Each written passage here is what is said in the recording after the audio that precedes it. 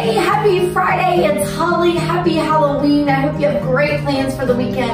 I am here with your Fun Fact Friday, and it's no tricks, just treats. Guys, for over 22 years in this mortgage career, it has always been a personal goal for me to exceed that 120 million mark. And as you can see, well, with some backwards numbers, our team officially this month has exceeded the $133 million mark.